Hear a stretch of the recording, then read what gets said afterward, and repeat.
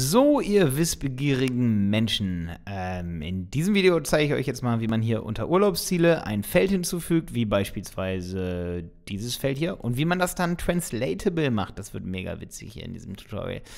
Ähm, und zwar als allererstes möchte ich einfach nur den Wert, beziehungsweise, nee, das Label will ich als erstes übersetzen. Das ist nämlich am einfachsten. So, passt mal auf. Ich gucke mir mal dieses Ding hier jetzt an. Ich habe hier, hier drüben den Code und zwar Urlaubsdauer, äh, genau, hatte ich hier hinzugefügt und ich möchte dieses Label hier translatable machen. Deswegen sage ich jetzt mal einfach, anstatt dass ich das hier einfach als HTML ausgebe, mache ich einen neuen PHP-Tag auf und mache hier Unterstrich E, das ähm, echoed, also das E steht eigentlich für Echo.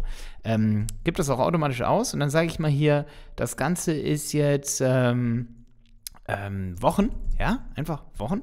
Und dann mache ich Komma und dann sage ich US, das soll nämlich zu diesem äh, Textdomain, zu dieser Textdomain gehören. Dann mache ich ein Semikolon und dann Fragezeichen und dann spitze Klammer zu, damit hier auch dieses PHP hier geschlossen wird. Das sieht von der Syntax hier jetzt schön aus, das Highlighting ist korrekt.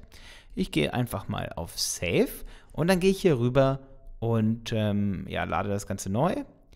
So, mal gucken, was passiert ist. Hier steht einfach immer noch Wochen. Wie übersetze ich das Ganze jetzt? Also, das hier ist jetzt ein, eine, eine Übersetzung. Das, das sehe ich an diesem Unterstrich. Wenn ich jetzt einfach nur Unterstrich, Unterstrich schreibe, dann würde ich das einfach nur registrieren. Wenn ich zum Beispiel weiß, ich möchte ein Theme bauen mit 100 Zeichenketten, die ich im Voraus übersetzen möchte, dann würde ich in einer, zum Beispiel in der Theme Functions, würde ich dann ganz viele Zeichenketten hier einfügen, erstmal übersetzen lassen und später dann mit Echo benutzen.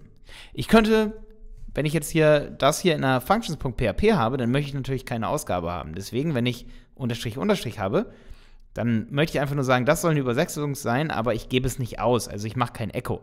Ich könnte jetzt natürlich sagen, alles klar, Echo, lass bitte diese Funktion der Registrierung ab, abspielen und gib mir alles aus. Ja, sowas funktioniert auch. Dann wird es auch ausgegeben.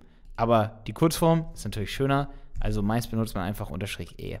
Und das Unterstrich steht halt für Translation, Internationalization oder irgendwie sowas. Okay.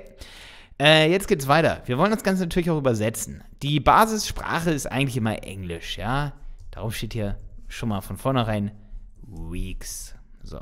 Das ist, glaube ich. Ach, verdammt, jetzt habe ich noch einen Bruch gemacht. Weeks. So. Ähm, speichere das ab und dann steht hier jetzt im Basisfile Weeks. Aber womit übersetze ich mein WordPress eigentlich?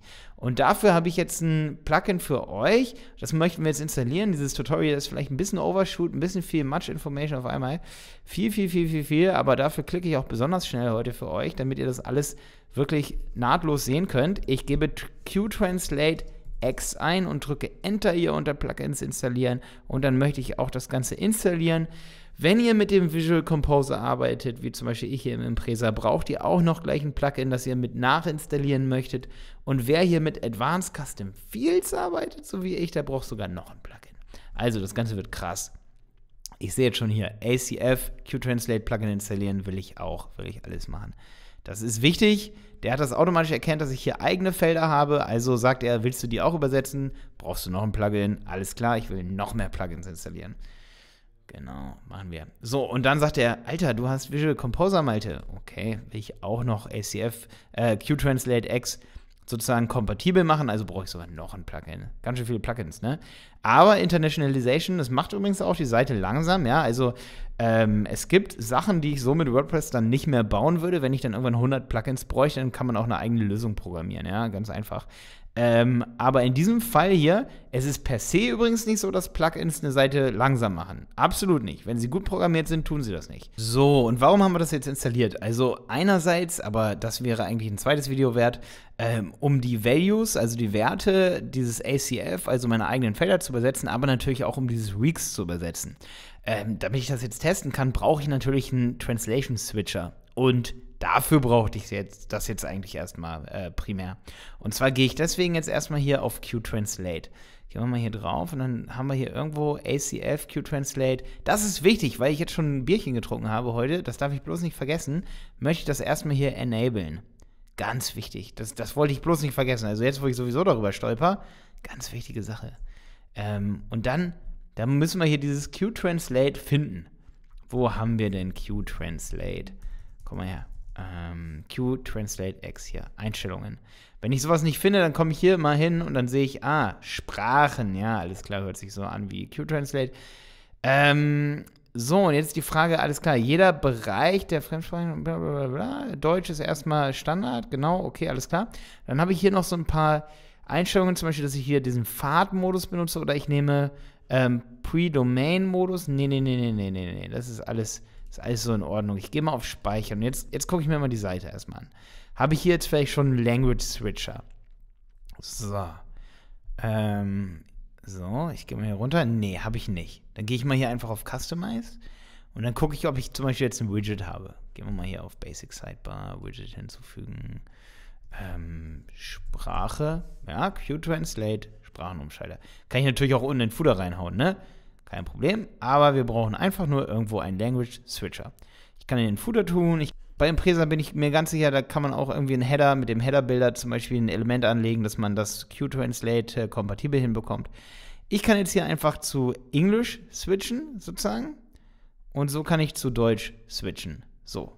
Und ich sehe jetzt, beides ist hier noch Weeks, ja. Und diese 12, die ist leider ähm, ein bisschen langweilig, die 12. Da wäre es schöner, wenn ich jetzt einen Text hätte, den ich übersetze. Deswegen habe ich mal nämlich in einem anderen Tutorial hier unter Feldgruppen noch einen Text angelegt. Den können wir auch noch ausgeben, damit wir das dann da gleich testen können mit der Übersetzung, hier den Urlaubsort. Ähm, den kann ich mir natürlich auch einfach mal ausgeben lassen. Ja, mache ich mal hier zum Beispiel einen Break Tag, zack, und dann sage ich mal Echo get field, zack, Urlaubsort, schließe ich das, zack, zack, zack, zack, zack. Und, ähm, ah ja, genau, klar, ich muss hier eine PHP-Umgebung aufmachen. Ne?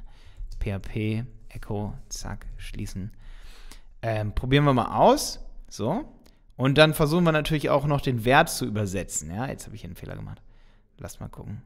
Echo get field hier, PHP neue Programmiersprache erfunden. Okay. Gut, jetzt habe ich hier Mallorca. Das möchte ich irgendwie, da kann ich ja was anderes reinschreiben. Mallorca Reise, Mallorca Travel oder irgendwie sowas, da kann ich ja übersetzen lassen. Deswegen gehe ich erstmal hier auf Urlaubsziel bearbeiten. So, und den Value jetzt, beziehungsweise genau, den, den Wert zu übersetzen, das ist easy. Hier kann ich nämlich das Ganze jetzt, wenn ich dieses ACF noch installiert habe, kann ich hier hin und her switchen. Und dann habe ich hier zum Beispiel rechts Mallorca und an dem blauen Balken sieht man, sieht man dass das, ähm, das Q-Translate X fähig ist.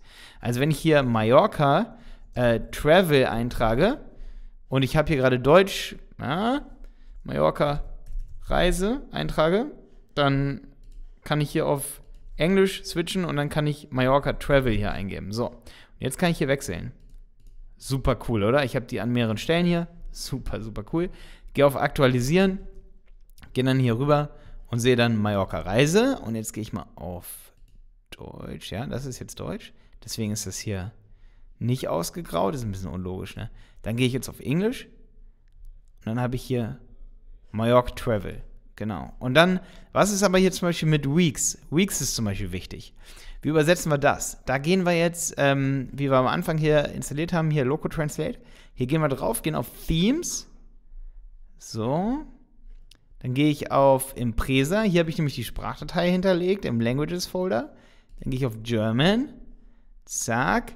So, und jetzt, wenn ich jetzt hier mal eingebe, ähm, Weeks, dann finde ich das nicht. Das ist ein sehr großes, naja, nicht so ein großes Problem. Äh, das kriegen wir hin. Wir gehen wieder zurück auf unser Theme. So, und die Problematik jetzt hier ist, dass wenn ich hier ein Template erstelle, und das mache ich jetzt mal ganz kurz, ähm, ja, dann muss ich erst definitiv auf Advanced gehen, bevor ich das Template erstelle und muss hier Punkt, Punkt eintragen unter Source File Path. Weil ansonsten wird das Child Theme nicht ausgelesen. Dann gehe ich auf Save, Save Config. Ich habe jetzt für diese Konfiguration hier fünf Stunden gebraucht oder so oder drei. Ähm, das kann richtig Nerven kosten für dieses Video. Ich habe es nur für euch gemacht, weil ich habe es bei einem anderen Theme gemacht und bei Impresa ist es mehr tricky. Hiermit kann man nämlich eventuell noch, ähm, ja, zwar das Weeks überschreiben, hat dann aber das Problem, dass man, und das zeige ich euch direkt hier unter Beiträge, alle anderen Zeichenketten zum Beispiel gelöscht hat. Das kann man hier unter Beiträge halt am besten sehen, wie zum Beispiel hier Kommentar. Das probieren wir jetzt mal aus. Wir gehen jetzt mal auf Impresa und dann gehe ich mal hier auf Create Template. Passt mal auf. Dann gehe ich hier auf Create jetzt. Hauptsache das Punkt, Punkt ist hier eingetragen unter Advanced. Und das Ding ist, ich habe jetzt hier ein Template und gehe auf Edit. Es wurden jetzt alle Dateien ausgelesen und es wurde, wurde zum Beispiel auch erkannt, dass hier Weeks im Child-Template ist. Daran sehe ich das hier. Ich könnte jetzt hier filtern und dann sehe ich, Weeks ist jetzt da.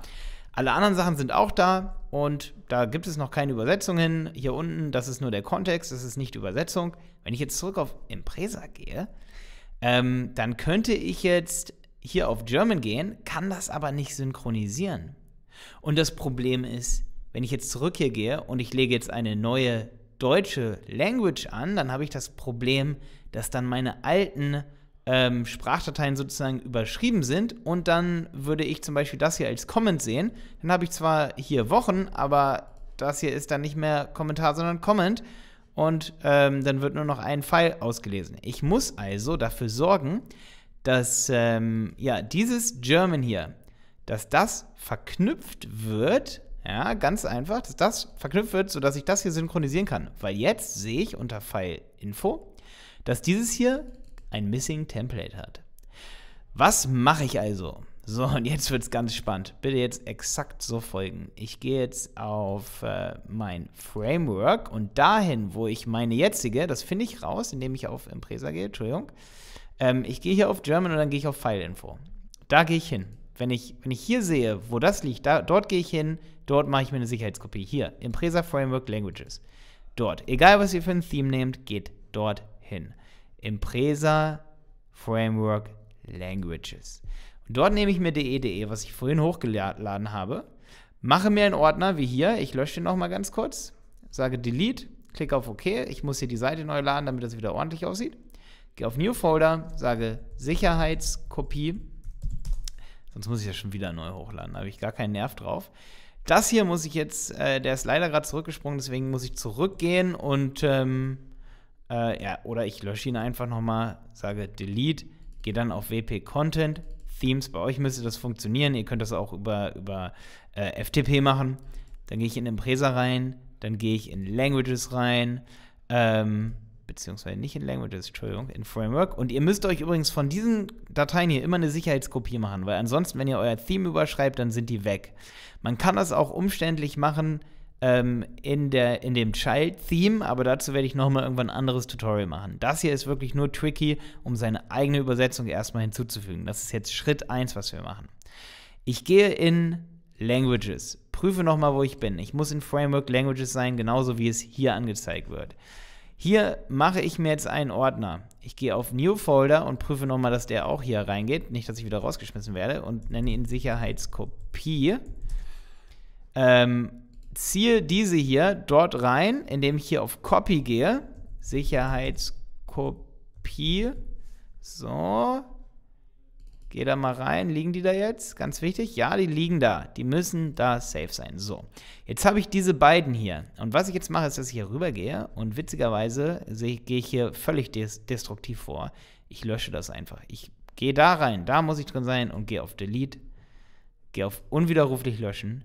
Und dann erstelle ich mir, und ihr habt ja gesehen, das war nicht miteinander verknüpft. Ich kann das aber verknüpfen. Ich kann hier auf Themes gehen, Impresa, ja, oder ich hätte gleich auf Impresa gehen können und kann mir dann ein verknüpftes Template erstellen, indem ich auf New Language gehe. Dann gehe ich hier auf German und wähle dann hier Impresa Languages de. Okay. Gehe dann auf Start Translating. Okay. Und jetzt sehe ich, upsie, alle deutschen Sachen sind weg. Okay, und deswegen haben wir es gerade zwischengespeichert. Deswegen gehe ich jetzt in Sicherheitskopie.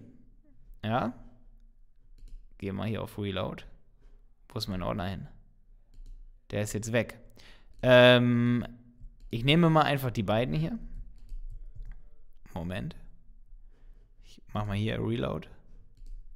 Ich nehme mal einfach die beiden hier. Irgendwas ist mir gerade hier passiert. Dann gehe ich mal auf Copy. Ähm, und dann möchte ich mir die beiden auf jeden Fall hier zu Impresa Languages kopieren. Geh mal hier drauf und jetzt kann ich nur hoffen, weil irgendwas ist gerade passiert. Irgendwie sind die ja gerade einfach verschwunden. Ich könnte sie aber neu hochladen und sehe, meine Translations sind wieder da. Perfekt. Weeks ist jetzt weg, aber was jetzt gekommen ist, ist dieser Sync-Button. Und den drücke ich jetzt. Und jetzt habe ich alles gefixt. Jetzt ist die Verknüpfung da. Wenn ich jetzt hier Wochen eingebe, dann ist nicht nur das hier übersetzt, sondern auch hier unten sind die übersetzt. Wenn ich jetzt auf Save gehe und jetzt hier rüber, dann ist mein eigenes Feld übersetzt.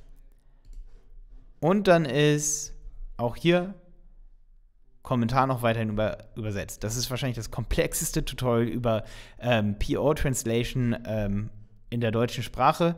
Ich hoffe, ich konnte euch helfen. Gebt auf jeden Fall einen Daumen hoch, wenn ich euch mit diesem Video hier helfen konnte. Ähm, abonniert meinen Kanal und ähm, sagt mir mal auf Facebook guten Tag. Viel Erfolg mit euren ähm, Languages und Translations. Ich hoffe, ihr habt nicht zu viel Kopfschmerzen, weil ich weiß, das kann richtig Kopfschmerzen bedeuten. Euer Malte.